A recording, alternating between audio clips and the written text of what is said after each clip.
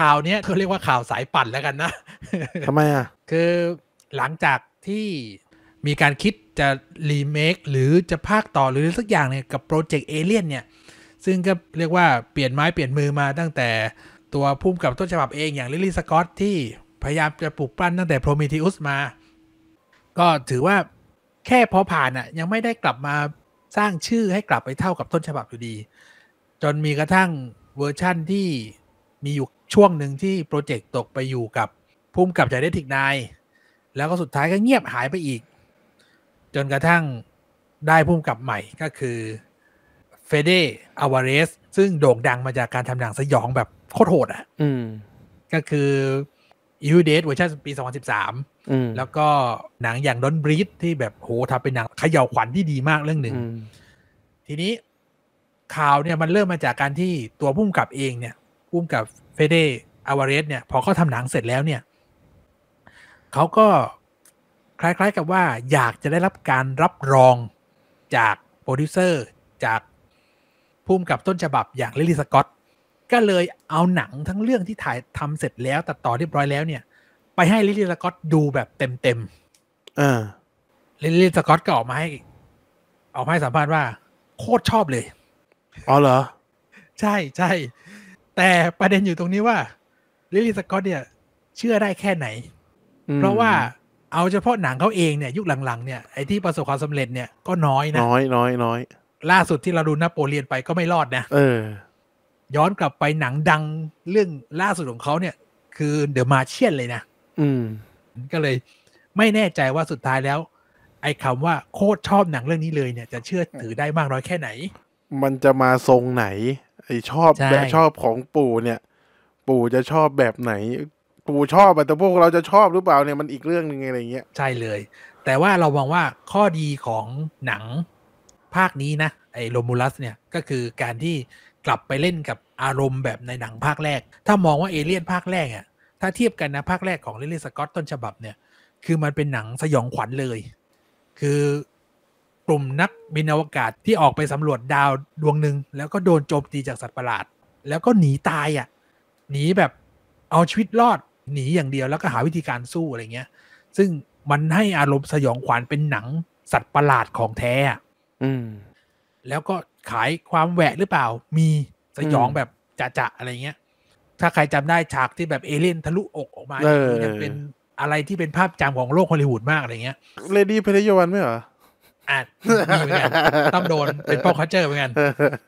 แล้วพอภาคสองเนี่ย มีหลายคนมองว่ามันเป็นเพราะเจมส์คาเมรอนนั่นแหละที่ทำให้แฟรนไชส์ที่ตายอะ เพราะว่าภาคสองทำได้ดีเวอร์อืมโดยที่ภาคสองเนี่ย ไปเปลี่ยนจากหนังสยองขวัญแบบโหดๆอย่างนั้นอะ เป็นแอคเป็นชั่นแอคชั่นอ่าใช่โคตรมันอะอืมแอคชั่นแบบบู๊กับสัตว์ประหลาดเออใส่ชุดหุ่นยนต์ต่อยกันแล้วอะเออเออสนุกไหมสนุกแต่มันให้อารมณ์แบบเอเลี่ยนภาคแรกไม่ได้ อืมแล้วหลังจากนั้นกลายเป็นว่าการพยายามจะทำให้ได้อย่างเจมส์คาเมรอนเนี่ย มันเลยทำลายแฟรนไชส์นี้ไปโดยอัตโนมัติอ่าสามสี่เละเทะ แล้วไป versus กับ Predator ก็ไปอีกรูปแบบหนึ่งเลยไปเลยอะไรเงี้ย แต่ทีนี้พอเราดูจากตัวอย่างตัวนี้เนี่ย เรามองว่า เออเขากำลังจะกลับไปเหมือนเวอร์ชันต้นฉบับหรือเปล่ากลับไปเล่าเรื่องการเอาชีวิตรอดในที่แคบๆในยานอวกาศอะไรเงี้ย รู้สึกว่าเนื้อเรื่องเองเนี่ย มันก็จะพูดถึงเนื้อเรื่องที่เป็นเหมือนกลับไปต่อจากภาคแรกอะ่ะอืมเหมือนหนังยุคหลังๆที่เป็นหนังภาคต่อที่แบบที่ไม่นับปรีเซ็ตอะไม่นับไม่นับ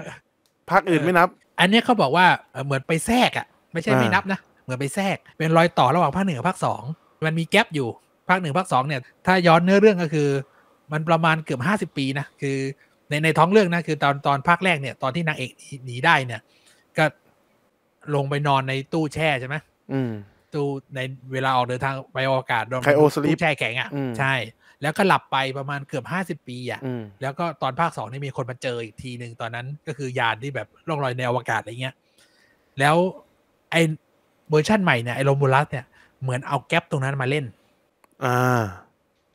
คือไม่ได้ปฏิเสธว่าหนึ่งสองสามสี่ไม่ที่ไม่คุณเกี่ยวคดูไม่นับ อ่าอืมยังมีอยู่ยังมีอยู่ที่ไหนสักที่ อืมล่องลอยอยู่ในอวกาศอ่าแล้วก็มาเล่าเรื่องของคาแรคเตอร์ใหม่อะไรเงี้ยก็น่าสนใจ แล้วถ้าแล้วด้วยสไตล์ของพุ่มกับที่ทำ EU Date เวอร์ชันปี2013อะมัน hardcore มากเลยนะ กับความสยองอะ อืม แล้วถ้ามาอัปเกรดเอเลียนเวอร์ชันนี้ให้มันมี element ของความโหดแบบนั้นอะ มันก็น่าจะได้ใจคนดูยุคใหม่เหมือนกันนะเออเออและจากตัวอย่างนี้ก็แบบเลือดสาดเหมือนกันนะเออ ก็มองว่า เออ น่าจะเป็นการฟื้นคืนของสัตว์ประหลาดตัวนี้แบบจริงจัง อีกครั้งหนึ่งนะ หลังจากที่ Predator ทำสำเร็จกับ Prey เออ ซึ่งตอนนี้โปรเจกต์ของ Predator นี่ไปกันใหญ่เลยนะอ่าจะทำ Predator ภาคใหม่จะทำ Prey ภาคต่ออะไรต่อมีอะไรเพียบไปเลย เพราะว่าประสบความสำเร็จจากเวอร์ชันนั้น ถ้าเอเลี่ยนปลุกโดนปลุกขึ้นไม่ได้อีกตัวนะ น่าสนใจ เพราะนี่คือไอคอนของสัตว์ประหลาดจากยุค 80 เลยนะ มันกำลังจะกลับมาแบบอืมเต็มเออ ขอแค่ง่าย ๆ กลับไปหารากเดิมก็โอเคๆใช่ใช่ใช่แล้วนี่ก็ได้รับการเจิมจากผู้กำกับต้นฉบับด้วยนะ เออ รอดู รู้สึกว่านอกจากริดลีย์ สก็อตต์แล้วนะ อีกคนหนึ่งที่มาอวยอย่างเรื่องนี้ก็คือเจมส์คาเมรอนเองนะ เอาอีกแล้วเอาอีกแล้วเน่แต่เจมส์ก็พอกันว่าเชื่อไม่ได้ เพราะตอนที่แกอวย Terminator ก็อวยกันจังเลย ก็ไม่รอดเหมือนกันนะ Dark Fate อวยมากเลย